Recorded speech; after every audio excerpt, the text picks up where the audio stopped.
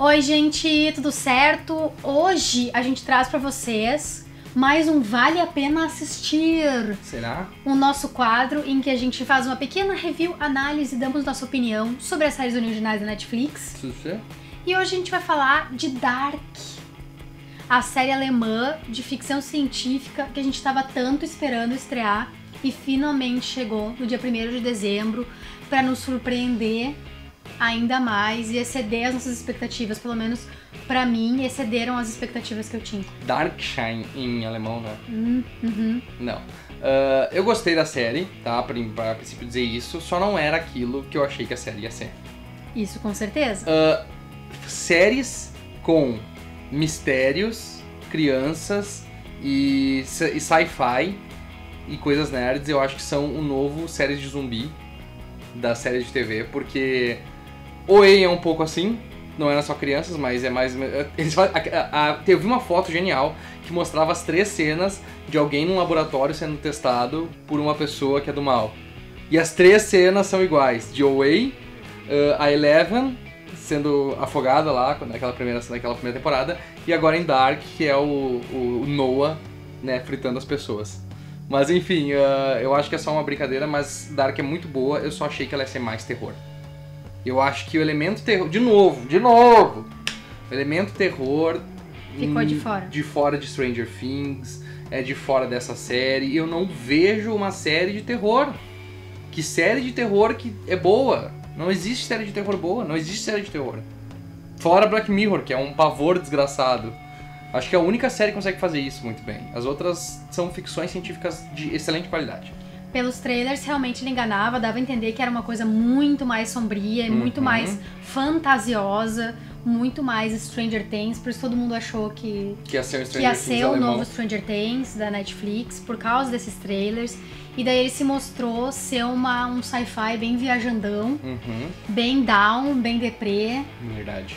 Maravilhoso. A história é incrível, o jeito como eles contam a história, Uhum. sabe? Eu, eu tô tentando não dar spoiler, eu não, Não, quero dar não nenhum vamos. spoiler aqui. Para as pessoas poderem se surpreender como a gente se surpreendeu. Uhum. A gente se surpreendeu que a partir do segundo episódio, eu acho que foi no fim do segundo episódio, que foi o primeiro mind blowing da, da temporada.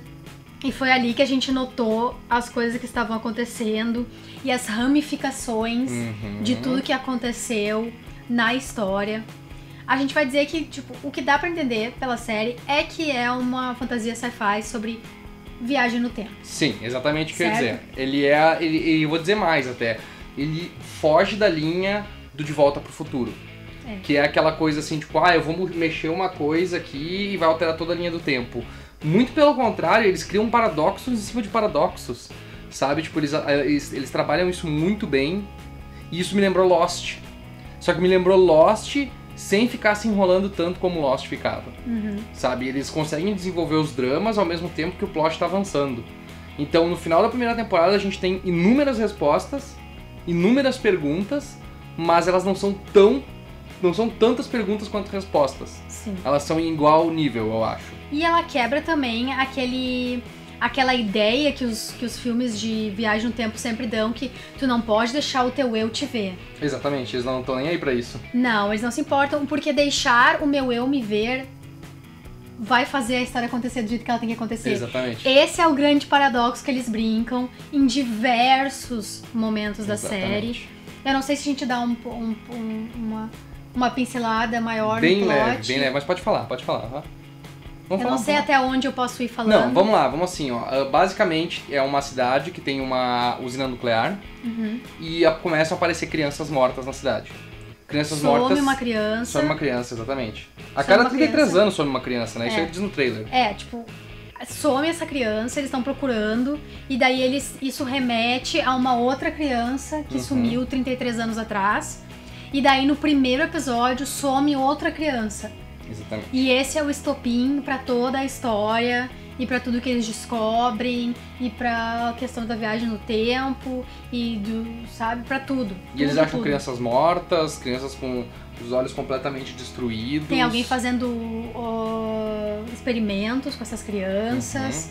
E daí a gente vai notar que tudo é interconectado de algum jeito Tudo, ou de tudo, outro. tudo tá conectado. O começo é o fim, o fim é o começo, que é o que eles dizem.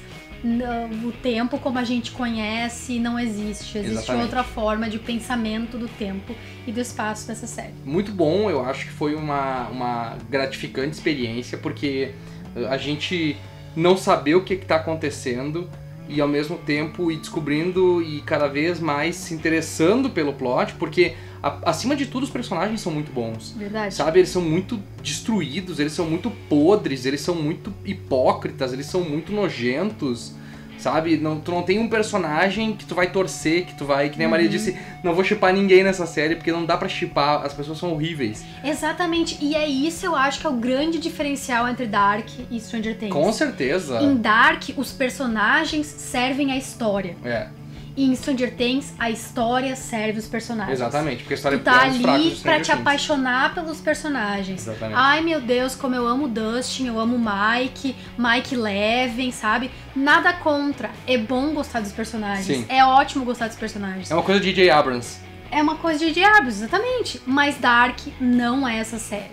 Dark quer te chupar pra história dele Uhum. e os dramas com os personagens e fazer os personagens serem gostáveis. Fazer a gente admirar, se apaixonar, chipar, querer que eles fiquem juntos, que eles se deem bem. Isso é o, é de menos. Exatamente, não tem nada, absolutamente nada. Inclusive, os- até o protagonista tu acha ele um pateta, sabe? Quem é o protagonista? Ah, o é, vamos dizer assim, o Jonas, vamos dizer o Jonas, tá? Vamos, O dizer, Jonas, vamos ele- dizer que o Jonas é o Mas protagonista. todos dessa história. eles, todos eles, tu tenta torcer por alguém e a pessoa é horrível.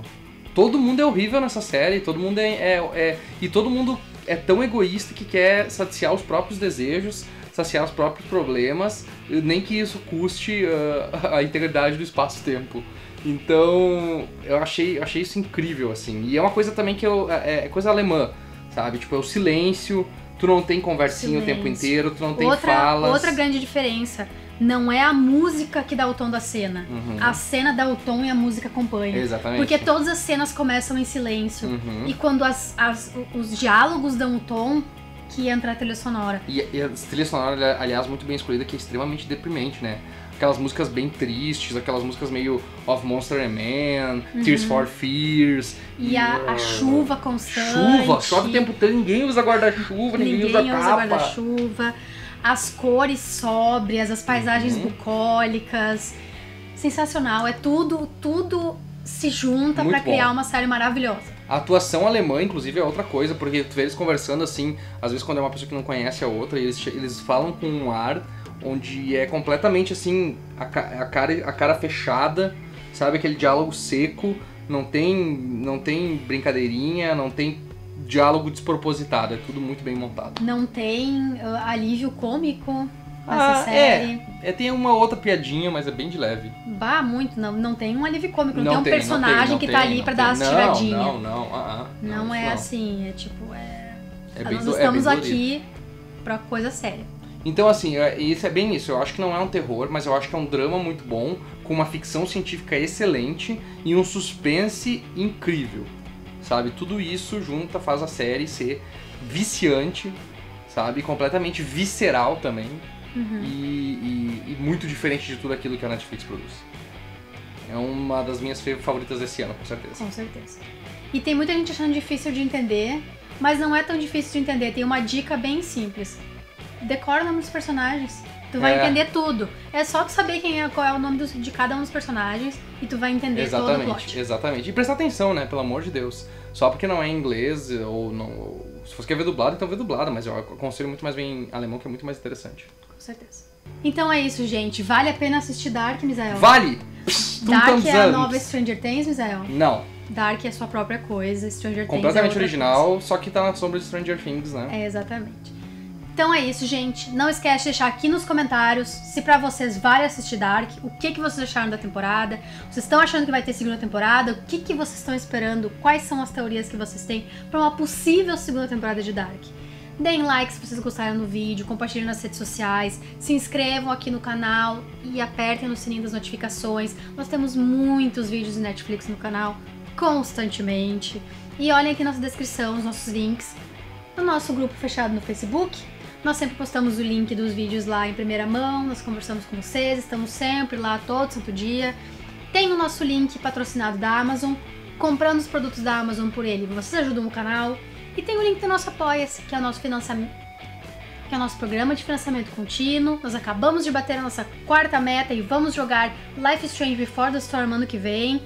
Vão lá olhar nossas outras metas, as recompensas que a gente tem para nossos apoiadores. E se você quiser, pode nos apoiar com a partir de um real por mês, tá bom? Bye bye!